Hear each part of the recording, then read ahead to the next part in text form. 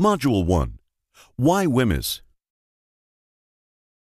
We live in a world full of chemicals. Everything around us and in us has a chemical nature.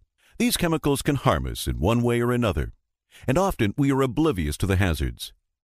In some cases, we spend so much time working with chemicals that we forget that they can pose a health or safety risk. There are over 500,000 substances used in workplaces across the nation. Many of them are known to be toxic or harmful to humans. Some agents are so harmful, very special conditions must be met before they can be introduced into a workplace. That's where the Workplace Hazardous Materials Information System, or WHMIS, comes into the picture.